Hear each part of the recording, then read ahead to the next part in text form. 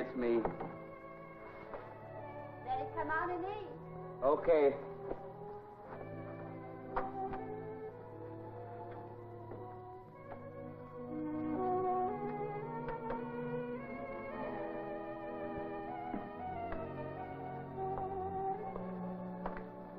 Hi. I've tried to keep things warm for you, and that is what's left.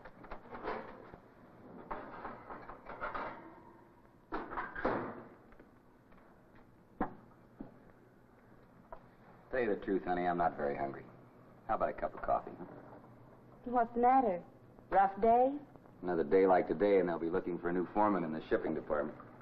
That's bad, huh? Well, maybe not. But it's not good. And one darn thing after another all day long. How come? Oh, no. Seems like I can't depend on anybody to do the job anymore. Not even Al. Al Weatherly? Yeah.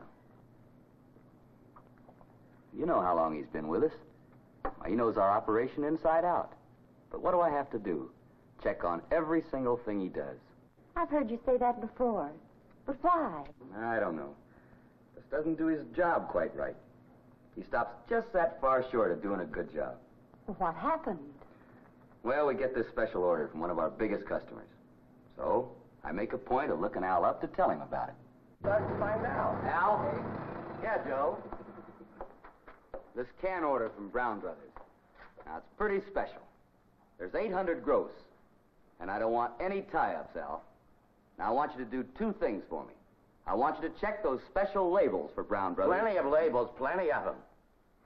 How do you know? I used them yesterday. Now, how many did you use? Oh, about six rolls. Plenty of them left. Well, if you use six rolls, Al, there's no 800 left. Now, you check and see if I'm not right. And listen, I want you to count those corrugated boxes. Don't guess at them, but count them and make sure. Yeah? Okay. I'll check back with you later if I have time and see how you made out. Okay. Checker upper. Well, what happened? We were 200 boxes short. I got tied up and didn't check back, and he got tied up and didn't check at all. Stuff's still sitting there. What did he say? Yeah, said he was sorry. Said he got tied up on another rush job and forgot about it. But you told him how important it was. Well, he had an answer for that, too. Said I'd checked on everything he'd ever done for years anyway and figured I'd do it this time. That's Al for you. I guess I should have checked. And Cora's just as bad. I have to check on everything that girl does.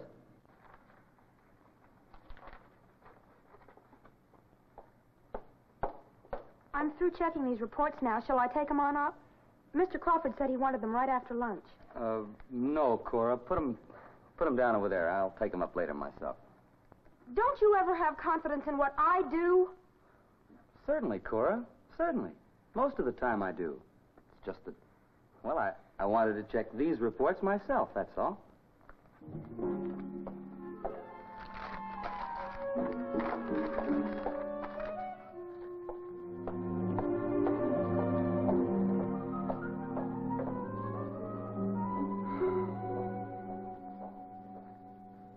Trouble was, I didn't get to it. I thought I would, but I didn't have time. And then something else came up. And then the fire inspector came by. And of course, I had to be showing him through the plant when the boss came looking for me.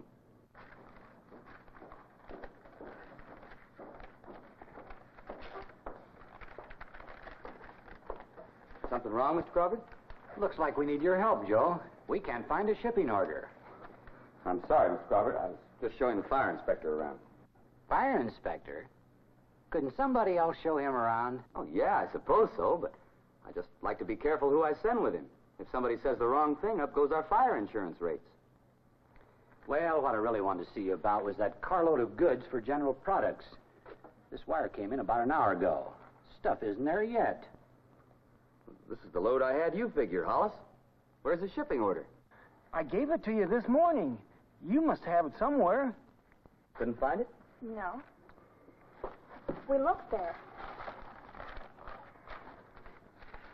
We checked that too. Here it is. I, I just haven't had a chance to put it away yet.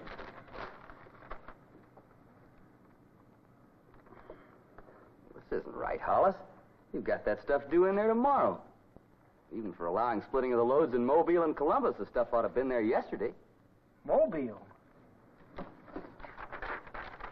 Didn't go Mobile. I think I know what happened, Mr. Crawford.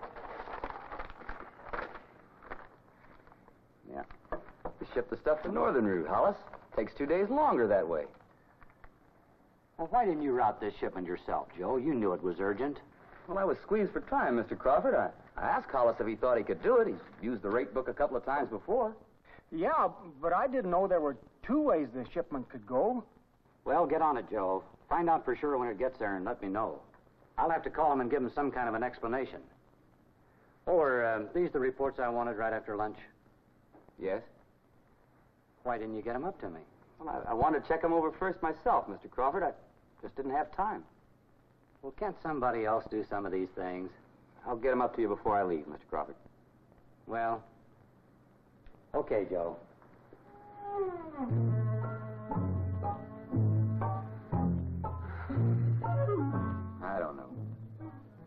One thing for sure, I can't do it all myself. On the other hand, you give somebody a job to do and they don't do it. Why is it I can't depend on people?